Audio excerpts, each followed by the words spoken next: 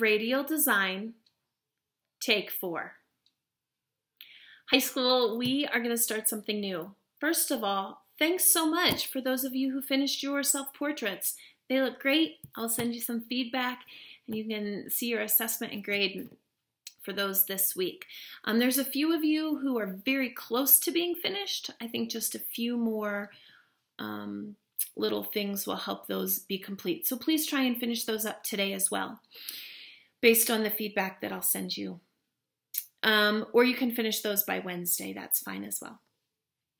Okay, um, radial design. We see it all around us. It comes from this idea of the radius of a circle and where the design repeats that. Sometimes it's called radial symmetry. First, you really want to start even your practices with a square of paper. So let me show you how to take a rectangle, make it into a square. Very simple. Bring the corner up so that it lines up.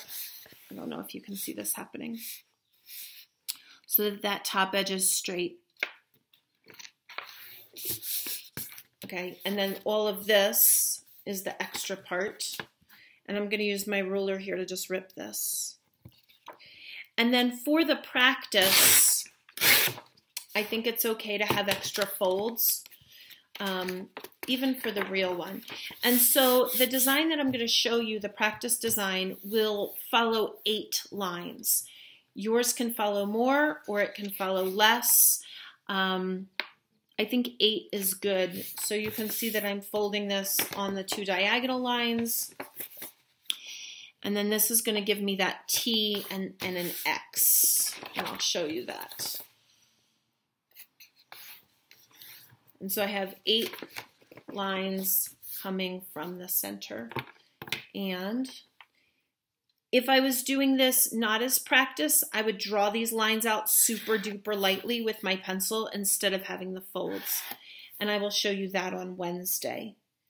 But for practice today, again, you want to start with a square. And these radial lines will help you. And you want to work from the center.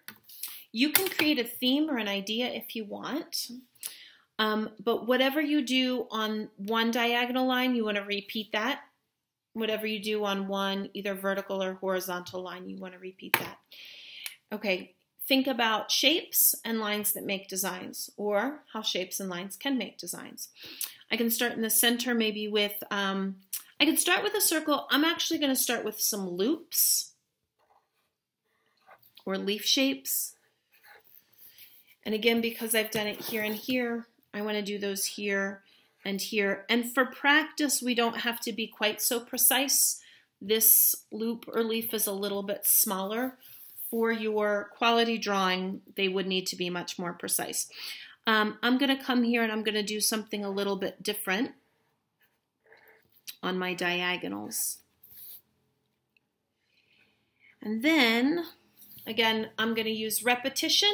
Here's just a little design that got started. I'm going to use repetition, shapes, and lines to continue to create my design.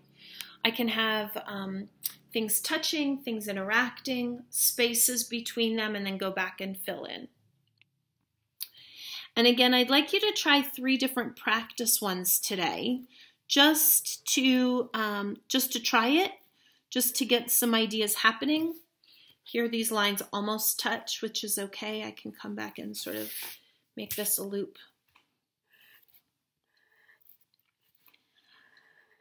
if I have weird space happening where they're not all the same, the farther I go, um, it will become more, it will become harder to keep it radial. So right now you can see that these two points aren't stopping at the same place.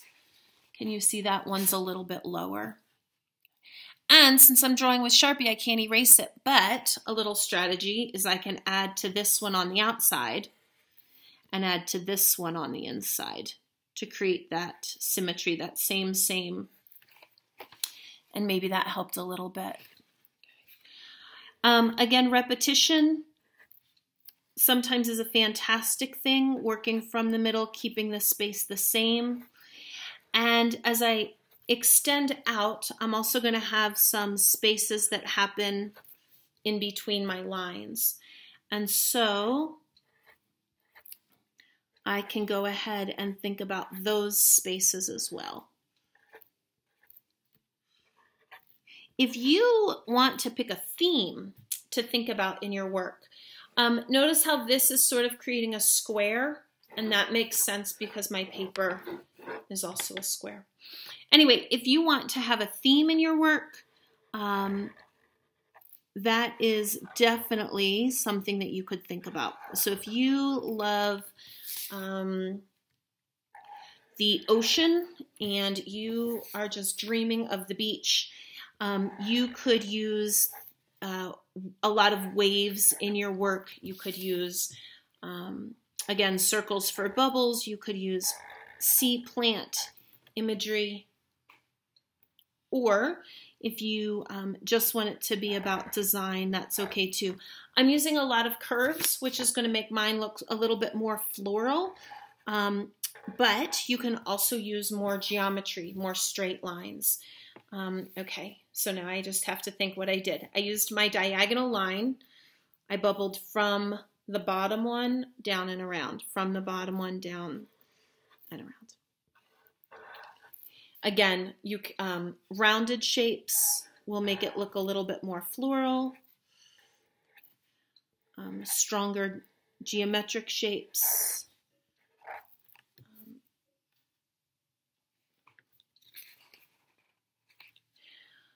I can also have um, different sizes of things happening. So again, as I extend, it could be a little bit looser. Maybe I'm going to draw this big leaf shape that I sort of started with.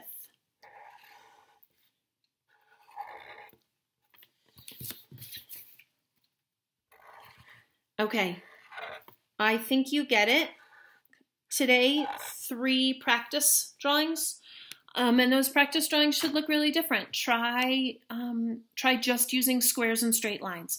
Try just using circles or curves. Um, try using some motifs. That would be like leaf shapes or um, um, heart shapes or stars or things like that.